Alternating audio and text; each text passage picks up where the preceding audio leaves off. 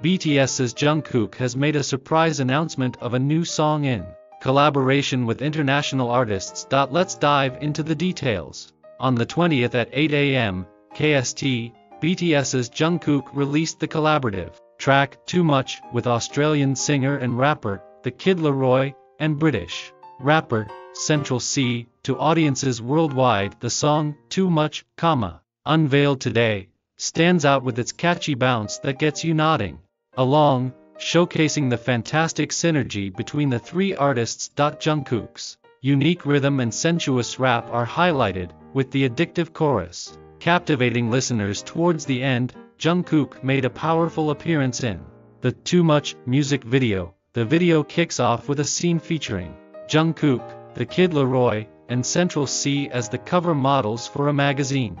Each artist dominates the screen with their individual performances in various settings, and when they come together, they're seen grooving and enjoying the track itself. Just the announcement of Too Much attracted global attention. Billboard, a leading US music magazine, described it as a collaboration between the top emerging male artists who have exploded in the 2020s.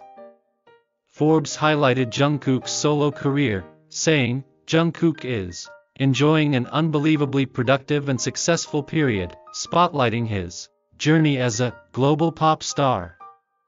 Meanwhile, Jungkook will release his first solo album, Golden, worldwide on the 3rd of next month at 1 p.m., inspired by the golden moments of solo artist Jungkook.